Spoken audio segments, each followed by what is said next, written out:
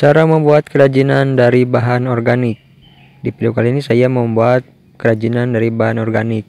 Ternyata bahan-bahan organik bukan hanya untuk membuat sebuah pupuk dari bahan organik ya, tetapi dari bahan organik kita juga bisa membuat kerajinan contohnya dari bambu ini kawan, potongan bambu ini.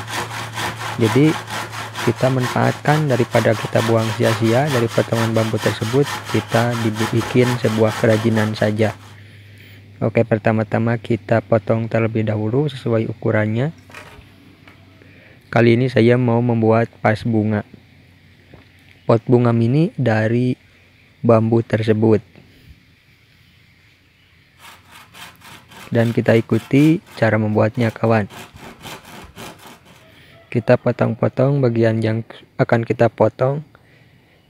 Nah seperti ini hasilnya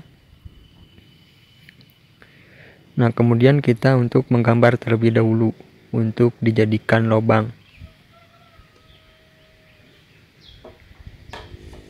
Saya menggunakan alat seadanya saja, mungkin teman juga punya alat modern mungkin lebih mudah ya ketika menggunakan atau membuat kerajinan dari bambu ini.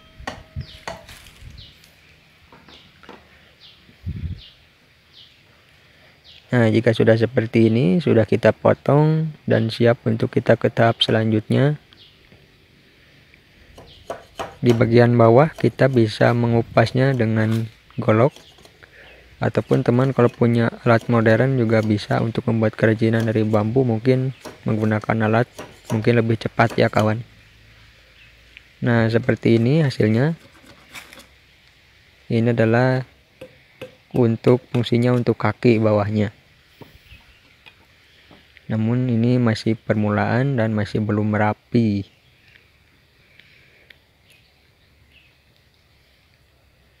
kemudian nah ini sudah tergambar ya kawan dari pas bunga ini. Seperti ini nantinya. Nah jika sudah seperti ini ini sudah dikerik ya kawan menggunakan pisau. Jadi kita bisa membersihkan merapikan bagian ataupun permukaannya dengan pisau.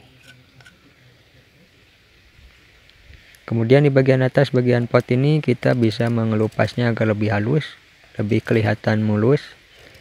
Seperti ini menggunakan pisau juga.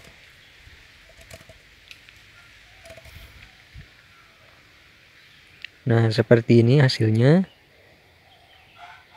Dan kerajinan dari bambu tersebut selain untuk membuat pas bunga juga bisa untuk membuat cangkir ataupun barang wadah yang lainnya dari bambu juga kawan.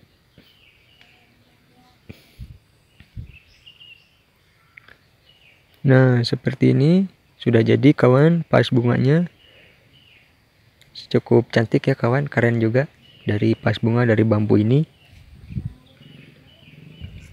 dan langkah selanjutnya kita untuk membersihkan sebuah pinggirnya. Ini untuk dari sambungan dari bambu tersebut kita bersihkan. Nah jadi seperti ini lebih cantik lagi. Teman bisa merubah warnanya dengan cat ataupun dengan biarkan dari warna alami bambu itu sendiri juga boleh.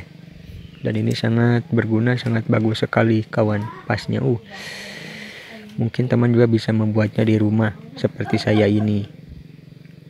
Oke, langsung saja kita untuk menggunakan pas bunganya. Saya sudah siapkan pas bunga, kemudian ada sebuah pupuknya. Kemudian di situ juga ada bunganya untuk dimasukkan ke dalam pot. Nah, bunganya seperti ini ya kawan, bunganya ini gak tahu bunganya apa tapi ini sangat bagus sekali bunganya kawan. Mirip seperti bunga sedap malam. Nah kita masukkan terlebih dahulu pupuk ataupun tanahnya ke dalam pas bunga mini ini sampai kelihatan agak penuh ya. Penuh jangan terlalu penuh tapi tetap penuh saja.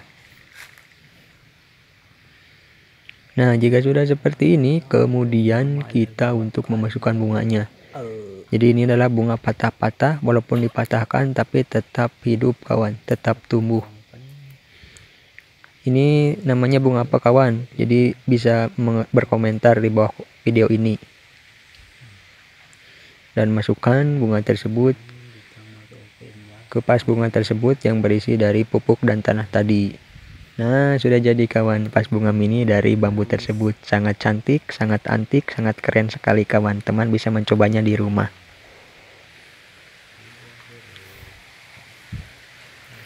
Nah seperti ini dari cara saya membuat pas bunga mini dari bambu tersebut. Terima kasih sudah menonton dan subscribe.